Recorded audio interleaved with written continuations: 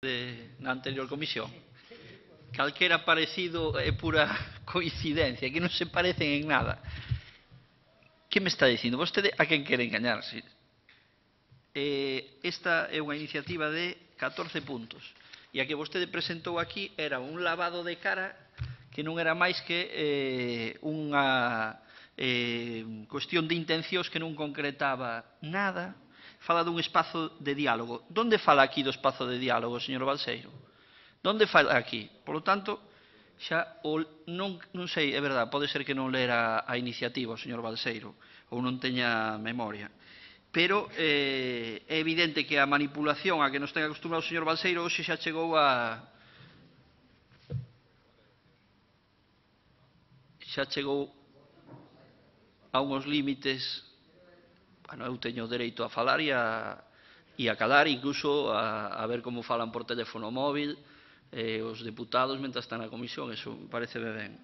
Ben, ben, o señor Balseiro xa fixo un exercicio de manipulación que hoxe superou todos os límites, posto que non se parecen en nada unha iniciativa coa outra.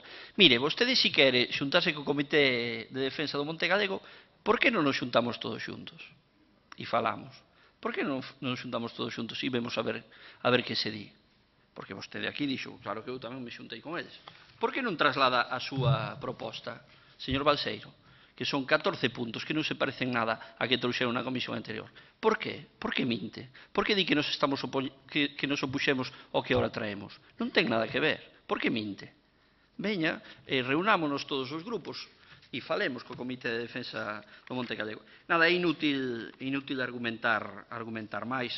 Este goberno eh, leva no último tramo sete anos, non vamos a esperar eh, grandes sorpresas o último ano, despois de dúas legislaturas, promove un período de reflexión para acadar o consenso, cando despois de sete anos non cambiou nada, non cumpliu ninguna das liñas do Plan Forestal Galego agora nos ven propoñendo o consenso. O último ano é para lavar, para lavar a cara.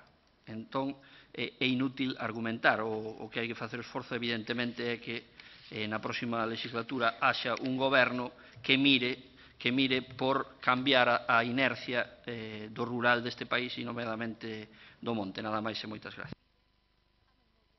Moitas gracias.